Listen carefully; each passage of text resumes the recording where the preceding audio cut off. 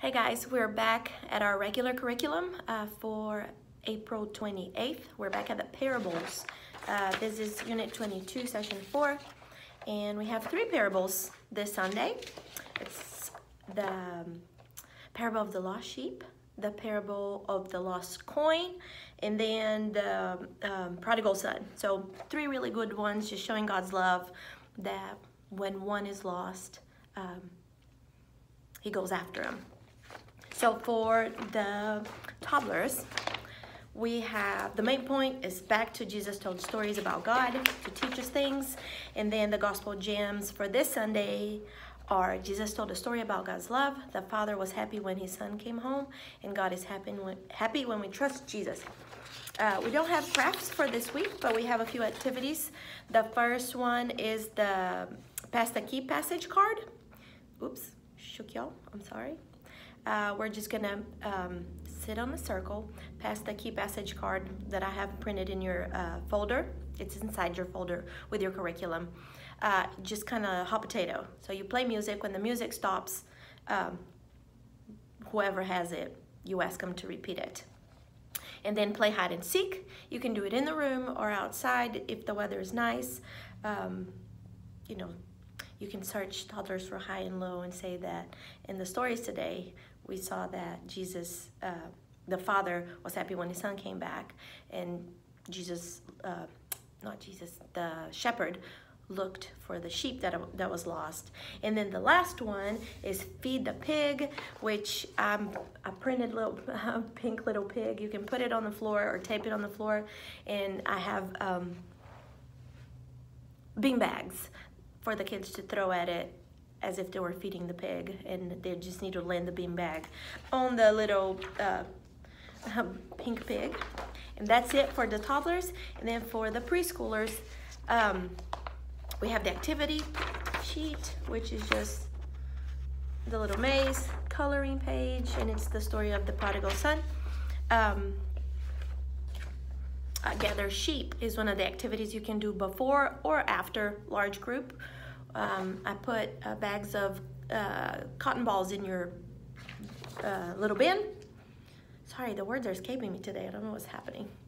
Um, and then, yes, I do. It's called age, old age. but you just scatter all over and then tell the kids to go and gather the sheep, the little cotton balls, and then they count. Um, and you can do it for a little while until it's fun. And then you can say, in today's Bible story, Jesus told three stories. One story is about a shepherd and a sheep. Let's listen and find out. Uh, and you can always compare and say that this is what God does uh, to find one of his children. Oh, I just dropped stuff. Okay, and then after large group, we have the small group activities, which there's no craft again. And if the weather is nice, please enjoy the outside. The kids have been missing that. We've been having some pretty days, so hopefully Sunday it won't be wet and yucky. Um, Jesus loves me. You can um, sing that song and talk about how in all those stories, just review the story and talk about how in all those stories, Jesus is uh, teaching about God's love. And then play a come to the party game, and that's so you designate designate a little area of your room to be the party area. You, you choose one child to be the father, and the rest of the kids are the sons, um, and they wait on the other side of the room. You play music, and when um, the father should, the father, one of the kids, should go over to the son, hold the hand, and lead him to the party. And the son of the party dances to the music, while the father leaves again to get another son till uh, he brings everybody to the party. Uh, and you can play it again if the kids like that. And just talking about the prodigal son story. That. And then the find a sheep, a coin, and two sons. Hang on, I dropped it.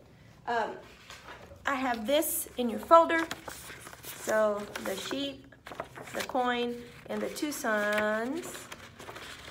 And I, you ask the kids to close their eyes and you're gonna hide this or ask your helper to hide this in the classroom. It's bright.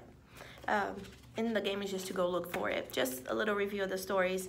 And remember, while they're playing, you can always review the story.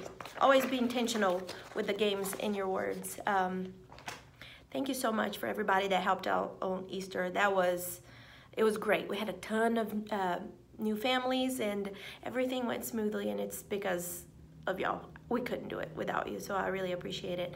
And one more thing, if you um, if you already have plans for the summer that you know you're going to be gone and you need those Sundays off, please let me know. I know it, it doesn't seem like it's that close, but we're already um, trying to get the schedule uh, set for June and July. Okay, um, appreciate each one of you, and I'll see you on Sunday.